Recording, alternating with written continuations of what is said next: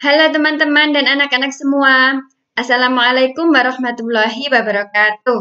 Kali ini kita bertemu lagi pada segmen yang sama yaitu segmen Ayo Belajar. Nah, tetap bersama saya. Nah, pada segmen kali ini kita akan ngebahas tentang pengangguran yaitu tepatnya tentang jenis-jenis pengangguran. Nah,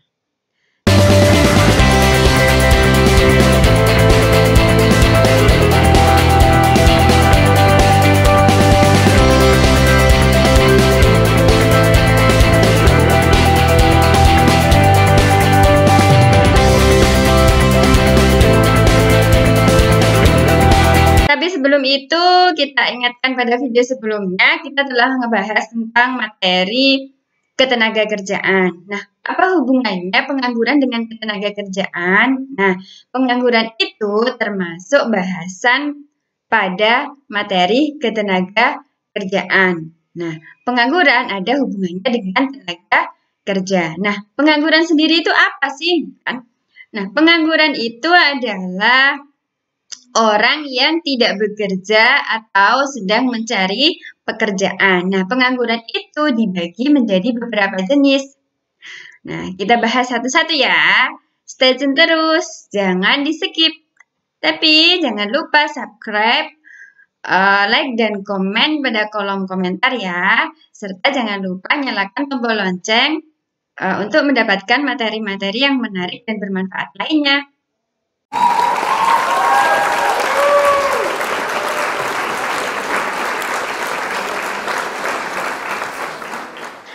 Oke, kita lanjutkan.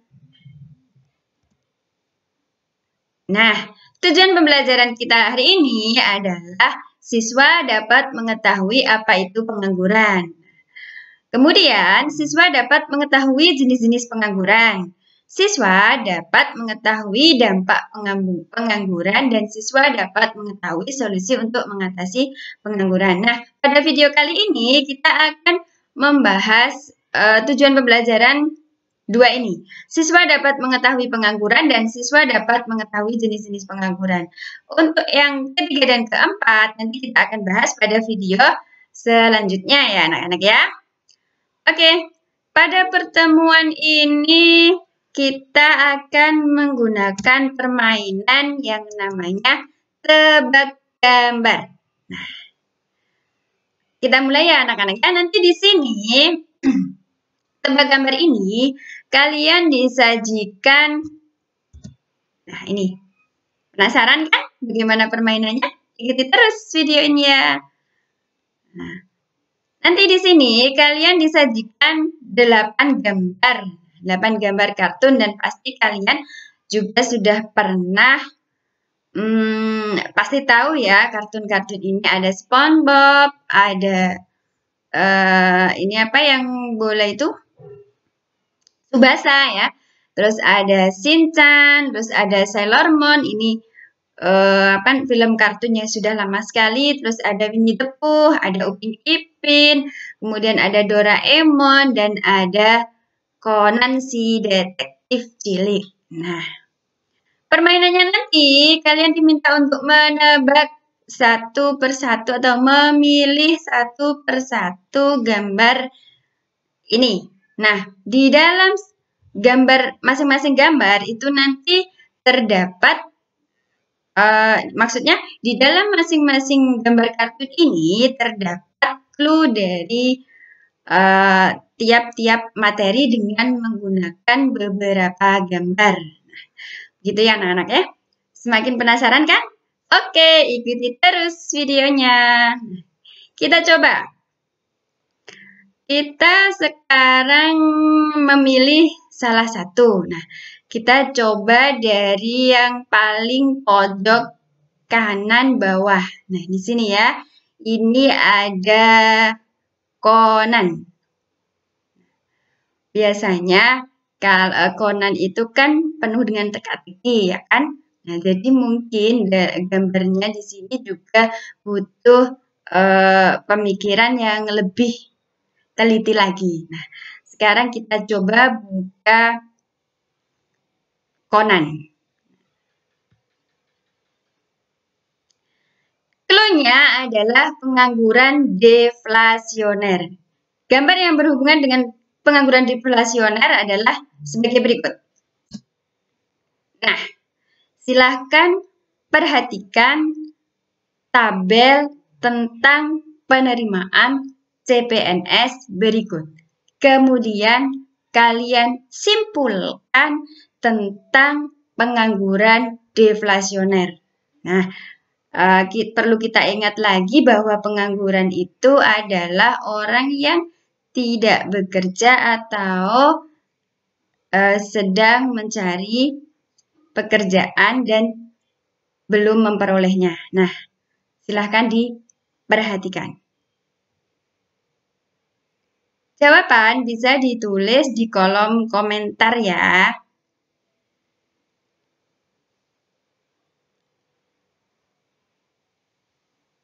Oke, waktu habis. Nah, kita bahas di sini ada tabel penerimaan CPNS. Kemudian ada nama jabatan, berarti ini adalah jabatan yang akan ditempati. Kemudian kualifikasi pendidikan seperti yang sudah dijelaskan pada video sebelumnya kan ada tingkat pendidikan yang mempengaruhi kesempatan kerja. Kemudian ada golongan ruang, kemudian jumlah kebutuhan tenaga kerja. Jadi jumlah kebutuhan tenaga kerja itu keseluruhan adalah ini. Nah, kemudian jumlah pelamar kerjanya ada 200 totalnya. Kemudian ada jumlah kemungkinan tidak diterima. Nah, mari kita bahas satu-satu. Nah, di sini pengangguran deflasioner itu adalah pengangguran yang disebabkan disebabkan karena jumlah lapangan kerja yang tidak bisa menampung jumlah pencari kerja. Nah, contohnya ini tadi ya. Nah, di sini di mana sih e, letaknya dalam tabel ini? Di mana sih letaknya jumlah lapangan kerja dan di, di mana letaknya jumlah pencari kerja? Nah, kita lihat di sini jumlah kebutuhan tenaga kerja Berarti ini merupakan jumlah lapangan kerja. Nah, yang dibutuhkan sebanyak 190, 119 tenaga kerja. Sedangkan jumlah pelamar, nah ini disebut jumlah pencari kerja. Jumlah pencari kerjanya adalah 200. Nah, inilah yang dikatakan bahwa jumlah lapangan kerja tidak bisa menampung jumlah pencari kerja. Akibatnya, nah di sini ada jumlah kemungkinan tidak diterima. 81 dari mana? Dari pelamar 200 dikurangi jumlah kebutuhan. Berarti ada 81 yang kemungkinan tidak diterima. Dan 81 itu ke mana kemungkinan akan menjadi pengangguran. Nah, inilah yang disebut pengangguran deflasioner. Paham ya anak-anak ya? Jadi, sekali lagi pengangguran deflasioner itu adalah pengangguran yang terjadi karena jumlah lapangan kerja tidak bisa menampung jumlah pencari kerja. Oke, paham kan? Oke, selanjutnya kita bah, uh, kita kembali ke tegap, tebak gambar lagi. Nah, sekarang kita coba yang ke Ke mana? Ayo. Ke mana teman-teman dan anak-anak mau pilih yang mana? Saya pilih Doraemon saja ya. Kita coba Doraemon. Nah, clue-nya adalah pengangguran sukarela. Sukarela. Dari katanya sudah uh, bisa terlihat ya bahwa pengangguran sukarela. Nah, suka-suka gitu ya. Jadi kita lihat gambarnya. Oke, silakan dipahami, silakan dicermati apa itu pengangguran sukarela. Di sini ada orang yang meminta-minta ya, terus ada uh, anak pang, ada ini juga anak pang juga, tetapi jangan dilihat ini ya, tidak bisa, uh, tidak boleh dicontoh hal seperti ini ya. Terus ada orang yang uh, ini gelandangan tidurnya di jembatan. Nah, oke, okay, sudah bisa menyimpulkan pengangguran sukarela kan? Oke, sekarang kita bahas. Nah, Pengangguran sukarela. Dari namanya saja sukarela berarti dia suka-suka. Pengangguran ini disebabkan karena keinginannya sendiri. Dia senang dengan pemberian orang lain. Dia sudah senang, sudah puas dengan pemberian orang lain. Jadi tidak mau berusaha untuk mendapatkan pekerjaan yang lebih baik lagi. Jadi dia nganggur karena suka-suka. Nah, contohnya adalah Nah, ini. Itu ya. Jadi mudah kan untuk pengangguran sukarela pasti semuanya paham. Oke, kita lanjutkan ke tebak gambar lagi. Oke, mau pilih yang mana anak-anak? Hmm, Sinca atau Subasa? Kita pilih yang lucu dulu ya. Jadi kita pilih Sinchan. Si Alis tebal yang sekarang banyak dicontoh sama para ibu-ibu ya. Oke, kita lanjutkan Sinchan. Cluenya adalah pengangguran musiman. Musiman gitu ya. Oke, kita lihat gambarnya. Nah, silahkan dicermati gambarnya, diteliti gambarnya, difahami, kemudian silahkan simpulkan pengangguran musiman itu yang bagaimana. Oke, tiga detik. Tit, tit, tit. Oke, waktu habis. Kita lihat di sini anak-anak, ada bulan Oktober sampai Februari. Masa bercocok tanam di sawah. Kemudian bulan Maret dan Juni ini musim kemarau ya, tidak ada air. Kemudian ini ada bapak-bapak petani yang sedang melamun gara-gara sawahnya kering. Nah, looking for a job. Jadi, mencari pekerjaan. Nah, paham ya maksud gambarnya? Oke, sekarang kita bahas gambarnya. Nah, pengangguran musiman itu adalah dari namanya saja musiman, berarti karena musim. Jadi, pengangguran yang disebabkan karena adanya perubahan musim. Pengangguran ini sering dialami oleh para petani ya gitu ya anak-anak ya.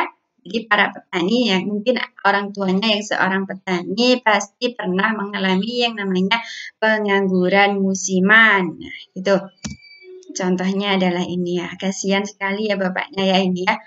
Udah ditanamin padi ternyata kering ini sampai sawahnya berlobang ya. Jadi ini kasihan sekali mereka. Nah, saat ini perubahan musimnya tidak menentu membuat para petani lebih banyak berpikir bagaimana caranya agar lahan pertanian mereka tetap dapat dijalankan. Nah, itu tadi tentang pengangguran musiman ya, anak-anak ya. Oke, sekarang kita lanjutkan ke tebak gambar selanjutnya. Nah, sekarang kita pilih yang mana? Nah, saya pilih yang cantik dulu ya. Ini kita pilih yang Sailor Moon. Nah, kita lihat dulu ada apa ya yang ada di balik Sailor Moon. Dengan kekuatan bulan akan menghukummu. Oke. Okay. Nah, clue-nya adalah pengangguran siklikal atau konjungtural. Nah, silakan perhatikan, dicermati, dan diteliti gambar maksud dari gambar tersebut ya. Nah, silakan. Di sini ada uh, keterangan nasib dunia usaha di tengah pandemi corona. Di sini ada zona merah, zona hijau muda, dan hijau tua. Nah, jadi ada dampak positif dan ada dampak negatif ketika ada pandemi corona gitu ya. Nah, di sini yang kategori merah, jadi tertekan atau sulit bertahan. Nah, uh, perusahaan apa saja di sini? Ekspor barang tambang, ada penggalian, pertambangan, industri pengolahan, konstruksi, perdagangan, hotel, restoran, energi, penerbangan. Nah, itu sulit bertahan. Yang bertahan adalah perikanan, listrik, gas, air bersih, pengangkutan, pertanian, perkebunan, peternakan, dan kehutanan. Karena ini adalah kebutuhan pokok. Kemudian yang meningkat apa? Makanan, kesehatan, teknologi informasi dipakai untuk pembelajaran daring, produksi kesehatan pribadi dan retail. Itu yang meningkat. Nah, yang akan kita bahas adalah yang berada di zona merah ini, yaitu perdagangan. Nah, di sini kita kasih contoh perdagangan uh, apa namanya baju ya ini ya. Kemudian karena adanya permintaan yang menurun, pasti karena adanya pandemi corona itu permintaan terhadap barang dan jasa uh, di bidang perdagangan akan menurun. Nah, di sini perdagangan baju akan menurun karena mal-mal ditutup gitu ya.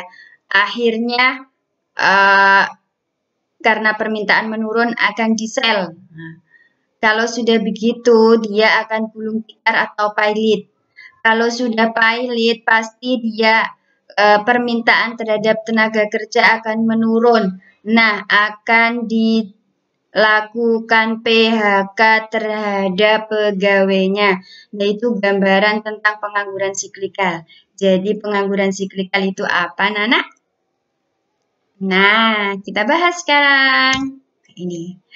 Pengangguran siklikal itu adalah pengangguran uh, dia menganggur akibat imbas naik turun siklus ekonomi. Nah, contohnya karena pandemi tadi akhirnya permintaan terhadap barang dan jasa menurun. Sehingga permintaan tenaga kerja lebih rendah daripada penawaran kerja. Nah, akibatnya di PHK.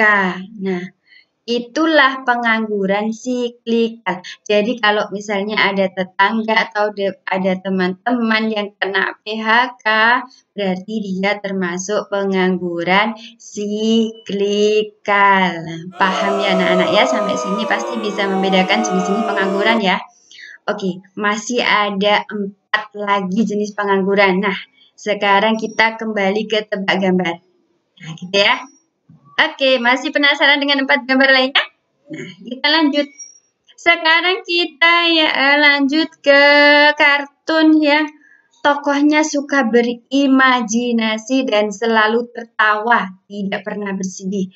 Yaitu siapa yo? SpongeBob ya, SpongeBob. Oke.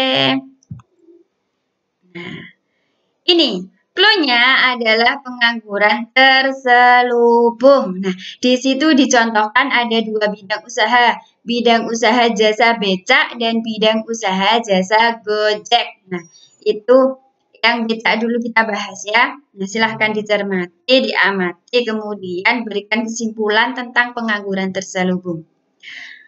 Di sini bapak tukang becaknya bilang begini, pekerjaan becak gini kadang rame, kadang sepi mbak, tapi banyak sepinya. Si mbak yang numpang jawab, emang sehari dapat berapa bang? Bapaknya jawab lagi, gak mesti mbak, kadang 20 ribu. Kadang juga nggak dapat sama sekali. Soalnya banyak banget mbak orang yang berprofesi tukang becak. Maaf ya ini kurang ya. Lihat itu mbak di pinggir jalan berjajar tukang becak kan. Itu-itu kalau beruntung akan ada penumpang yang datang. Itu. Kemudian di sini ada mbak-mbak tukang gojek juga yang sedang berjejer menunggu pe pelanggannya ya. Silahkan disimpulkan. Waktu satu detik. Oke, waktu habis. Oke, kita bahas ya. Nah, inilah pengangguran terselubung itu. Nah, pengangguran terselubung itu ada apa? Ya dia kerja tapi terselubung aja. Nah, uh, pengangguran terselubung itu adalah tenaga kerja yang tidak bekerja secara optimal dan maksimal disebabkan karena terlalu banyaknya pekerja pada satu bidang atau bidang tertentu. Kalau kita lihat tadi di sini, tukang becaknya bilang kadang sepi, kadang ramai, tapi banyak sepinya. Lah inilah yang disebut tenaga kerja yang tidak bekerja secara optimal optimal dan maksimal. Mestinya dari jam 8 sampai jam 4 itu namanya kerja secara optimal dan maksimal. Ini juga mbak-mbak tukang gojek kan juga seperti itu. Kadang menunggu penumpang. Kalau dapat dia jalan, kalau tidak dia ya diam saja menunggu di situ. Nah, nah itu yang dikatakan bahwa kurang optimal. Nah, pada bidang terlalu banyak bekerja pada bidang tertentu. Di sini tadi dikatakan kalau kita lihat di jalan-jalan raya gitu ya anak-anak ya. Kita lihat kadang-kadang di pinggir jalan atau dekatnya uh, terminal itu pasti terlihat tukang becak yang berjajar-jajar banyak. Nah, itu menunggu penumpang. Kadang-kadang hanya satu atau dua orang aja yang punya dan dapat penumpang sisanya hanya sekedar menunggu. Lah itulah dinamakan uh, pada bidang tertentu atau satu bidang. Ini juga kan nah ini. Jadi jasa Gojek juga seperti itu, sudah terlalu banyak yang bekerja sehingga ada beberapa yang tidak bekerja secara optimal. Nah, ini Lalu pengangguran eh, pengangguran terselubung itu terjadi karena alasan apa? Ada alasan tertentu anak-anak ya. Nah, kira-kira alasannya apa? Yuk kita pikirkan sama-sama. Kira-kira alasannya apa? Gitu ya. Nah, sekarang kan? Kita bahas. Nah, ini. Oke, yang pertama adalah kurang terampil dalam pekerjaannya karena pendidikannya rendah. Jadi anak-anak, kalau kalian eh, mempunyai kesempatan untuk meraih pendidikan yang lebih tinggi, manfaatkan dengan baik. Nah, tingkatkan keterampilan dan pendidikanmu karena terkadang ada orang yang tidak memiliki kesempatan tersebut. Jadi bersyukur dan manfaatkan dengan baik kesempatan itu gitu ya. Oke, yang kedua adalah baru mulai bekerja atau kurang pengalaman dalam bekerja. Nah, orang-orang yang baru uh, apa namanya lulus kuliah biasanya seperti itu ya. Jadi belum memiliki pengalaman dalam bekerja. Makanya ketika kita sekolah uh, kuliah itu kita dibekali untuk melakukan magang uh, magang di sebuah usaha gitu ya. Nah, itu uh, tujuannya adalah untuk mendapatkan pengalaman dalam bekerja. Kemudian yang ketiga adalah keterpaksaan yang membuat orang bekerja tidak sesuai dengan bakat dan keterampilannya. Nah, seperti itu ya. Nah, jadi misalnya gini, lulusan keperawatan karena tidak ada lowongan kerja sebagai perawat, akhirnya dia menjadi pegawai salon. Nah, itu termasuk dalam pengangguran terselubung, tidak sesuai keterampilannya. Keterampilannya adalah merawat pasien, tapi kerjanya adalah merawat rambut. Nah, merias orang dan itulah disebut pengangguran terselubung terselubung. Nah, paham ya anak-anak ya tentang pengangguran terselubung ya. Semoga kalian uh, besok uh, tidak menjadi pengangguran terselubung ya. Semuanya bisa sukses. Amin. Oke, kita lanjutkan ke tebak gambar selanjutnya. Oke, masih penasaran dengan tiga gambar lagi kan? Ya, kita sekarang uh, menuju ke gambar kap kapten. Kapten yang pandai menendang bola yaitu Kapten Subasa. Nah, apa ada ada apa ya yang ada, yang ada di balik Kapten Subasa? Nah, klunya adalah pengangguran friksional. Di sini kita contohkan. Nah, ini ya. Ada uh, di sini ada anak pang, kemudian dia bilang gini ya. Mas, kena opo kok sampean sakit dadi kaya ngene nganggur kailo enek lowongan dadi karyawan salon eman ijazahe ya ini si masnya jawab. Iya neng. Iki aku bar di PHK perusahaannya bangkrut. Apa aku mbok kon nglamar karyawan salon? Emoh. Sik neng tak jajal ngenteni penggawean sing sesuai mbek ijazahku. Tak nganggur sik ae karo ngancani awakmu ning seneng atiku adem atiku. Nah si Ceweknya jawab, ya lah mas, mas lah rumangsamu urip kur ape wong luruan terus po piye, gak nganggo mergawe, yo emo mas aku karo sliramu, mas yo ngene-ngene dah, yo aku pengen urip enak, gitu ya. Oke, ya dari gambar ini, dari percakapannya tadi, ambil sisi positif dan hikmahnya ya anak-anak ya. Jadi jangan ambil yang jeleknya ya. Oke, selanjutnya di sini ada sis, uh, mahasiswa yang fresh graduate ya. Nah, dia bilang, sekarang aku udah lulus, terus aku harus mencari kerja. Ada lowongan kerja nggak ya? Menunggu informasi lowongan kerja deh, di rumah aja dulu. Nah, itu gambaran tentang pengangguran friksional ya. Sekarang kesimpulannya apa sih tentang pengangguran friksional? Oke, dipikirkan ya. Jangan lupa uh, jawab di kolom komentar. Kita bahas sekarang. Pengangguran friksional itu adalah pengangguran yang disebabkan karena menunggu pekerjaan yang baru. Nah, tadi ini kan dia ada lowongan karya, uh, karyawan salon karena dia tidak mau, makanya dia menunggu pekerjaan yang baru. Ini juga, jadi dia juga menunggu pekerjaan uh, informasi lowongan kerja, jadi dia di rumah aja. Nah, itu disebut pengangguran friksional ya anak-anak ya. Ini. Pengangguran ini bisa terjadi karena satu pergantian pekerjaan. Nah, tadi ya contoh yang pertama. Kemudian yang kedua, baru lulus kuliah yang sedang mencari pekerjaan.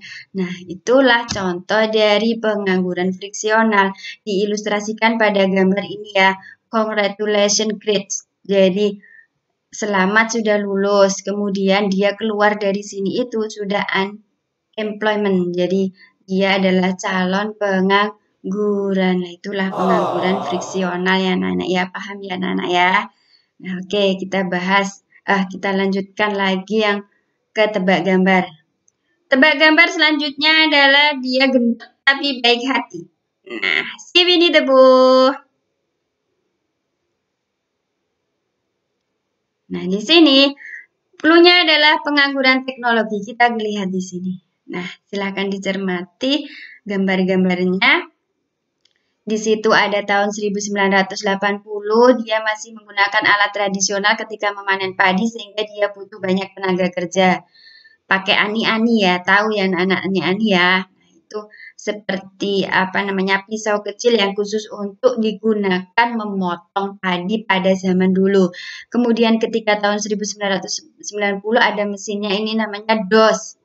Nah, jadi dia sudah tidak perlu ditumbuk lagi, sudah ada mesinnya. Dia butuh lima orang pekerja. Kemudian selanjutnya di tahun 2013 ditemukan alat pemanen padi secara otomatis. Nah, seperti traktor ya. Nah, ini hanya butuh dua tenaga kerja. Nah, dari gambar ini pasti kalian sudah bisa menyimpulkan apa itu pengangguran teknologi ya anak-anak ya. Oke, sekarang kita bahas. Pengangguran teknologi itu adalah pengangguran yang disebabkan karena perubahan teknologi. Dari tahun 1980 kita menggunakan ani-ani, kemudian tahun 1909 eh, tadi 80 ya, 90 kita menggunakan DOS, kemudian tahun 2013 kita menggunakan pesin pencacah. Nah, pemanen padi ya. Luar biasa kan ya perkembangan teknologi sekarang itu semakin meningkat. Jadi kita harus bisa mengikuti perkembangan teknologi anak-anak ya. Nah, itulah pengangguran teknologi. Contohnya ini ada pekerjaan mengepak barang biasanya dilakukan oleh uh, apa ini ya tenaga kerja atau manusia mungkin pada tahun 2000 uh, berapa nanti 2900 atau 2100 nanti ya ke depannya lagi mungkin sudah diganti oleh robot sehingga dia diusir. Nah, ini akan menjadi pengangguran. Nah, gini ilustrasinya ya anak-anak ya. Pekerjaan yang awalnya dilakukan oleh orang banyak sekarang digantikan oleh teknologi sehingga jumlah tenaga kerja berkurang yang dapat mengakibatkan pengangguran. Nah, pengangguran ini disebut pengangguran teknologi ya. Paham ya anak-anak dari ilustrasi ini ya? Ah ya, insya Allah paham ya. Oke, kita lanjutkan ke tebak gambar selanjutnya adalah yang terakhir. Ini yang disukai biasanya. Ini tidak lekang oleh waktu, selalu ada ya. Upin Ipin. Nah, di Upin Ipin ini, uh, apa namanya, klunya adalah pengangguran struktural ya. Anak-anak, kita lihat gambarnya. Nah, nah ini ya. Dari sini pasti kalian sudah bisa menyimpulkan. Silahkan dicermati, diamati, kemudian disimpulkan ya. Nah, kita lihat di sini ada seorang petani yang mau menanam padi. Kemudian di sini ada hutan sagu warisan nenek moyang.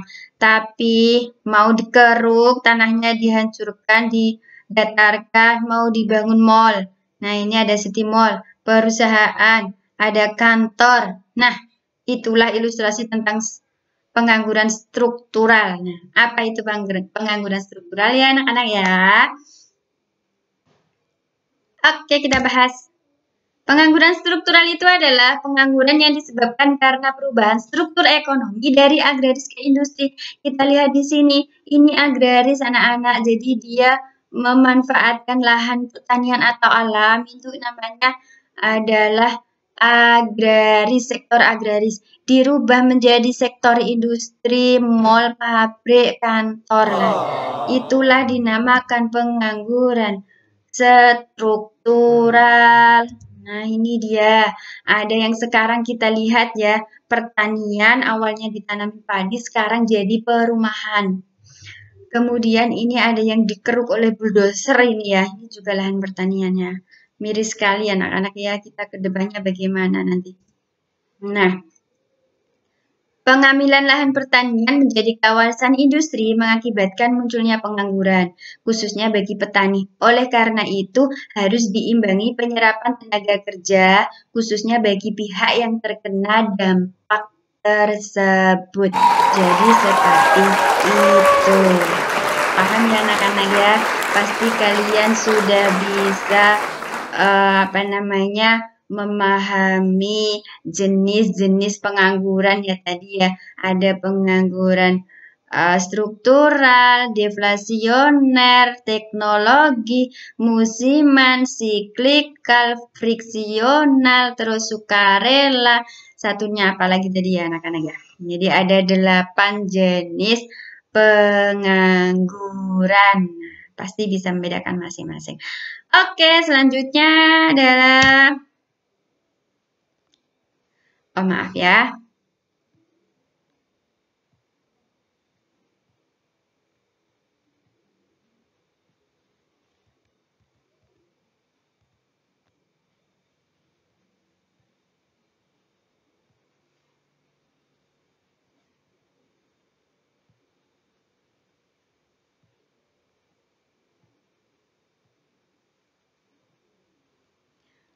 Oke, nah ini adalah delapan gambar yang tadi sudah kita tebak masing-masing ya.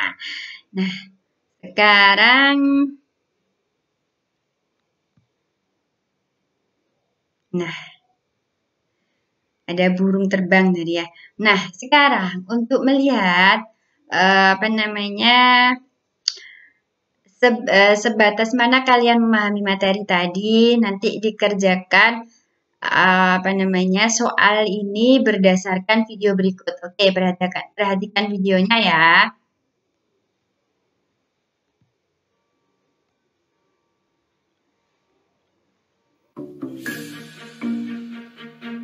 Badan Pusat Statistik atau disingkat BPS melaporkan jumlah pengangguran di Indonesia pada Agustus 2015 sebanyak 7,56 juta orang, bertambah 320 ribu orang dibandingkan dengan periode yang sama pada tahun lalu sebesar 7,24 juta jiwa. Pada Agustus 2015, tingkat pengangguran terbuka menurut pendidikan didominasi oleh sekolah menengah kejuruan atau SMK sebesar 12,65 persen disusul oleh sekolah menengah atas atau disingkat SMA sebesar 10,32 persen, diploma sebesar 7,54 persen, sarjana 6,40 persen, sekolah menengah pertama atau SMP sebesar 6,22 persen, dan sekolah dasar ke bawah sebesar 2,74 persen. Mengapa jumlah pengangguran di Indonesia sangat tinggi?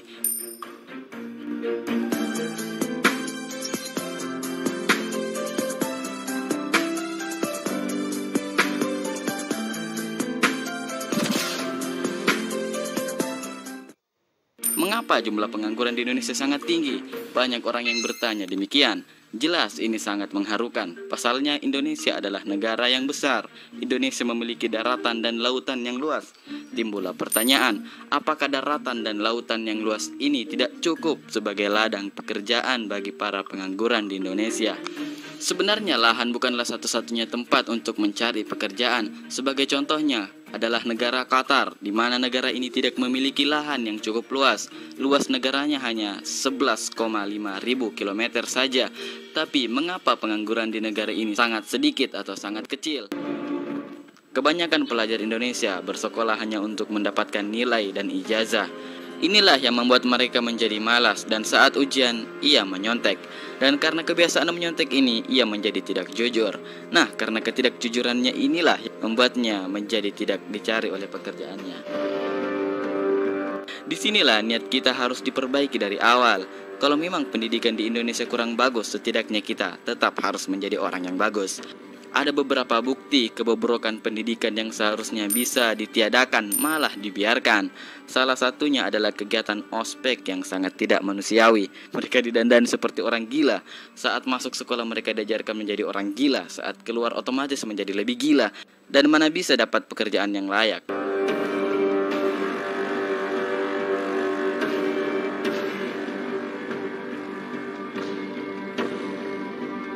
Sudah sangat banyak perusahaan asing yang mencari sumber daya alam di Indonesia. Orang Indonesia sebenarnya mempunyai peluang besar untuk mengelolanya sendiri, namun mereka lebih senang menjadi anak buah.